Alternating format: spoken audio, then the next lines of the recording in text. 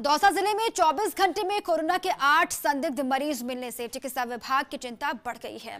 इन संदिग्ध मरीजों में एक नर्सिंग कर्मी और दुबई से आया व्यक्ति भी शामिल है, जिन्हें अस्पताल के आइसोलेशन वार्ड में भर्ती किया गया है। इस बीच कलेक्टर एसपी ने लोगों से अपील की है कि वो कहीं भी ज़्यादा संख्या में इकट्ठा ना हो। हालाँकि चिकित्सा विभाग के सामने सबसे बड़ी मुश्किल विदेश यात्रा से लौटे लोगों की है।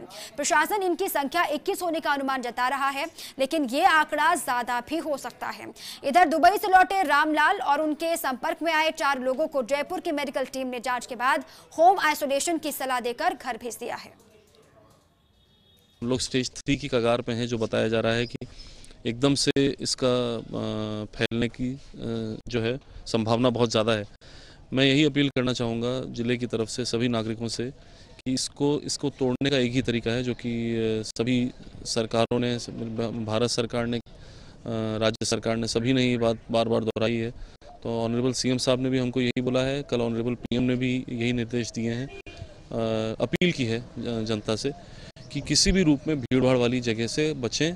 धार्मिक आयोजन, सामाजिक आयोजन, अन्य कोई प्रयोजन घर से निकलने का यदि बहुत ही आवश्यक हो, तभी निकलें।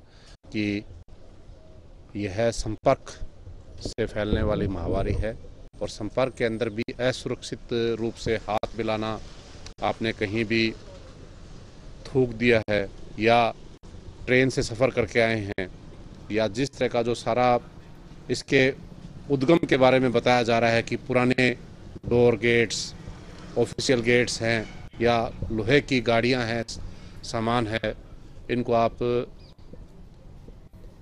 मज़दूरों के जो हटवाड़े लगते हैं, वहाँ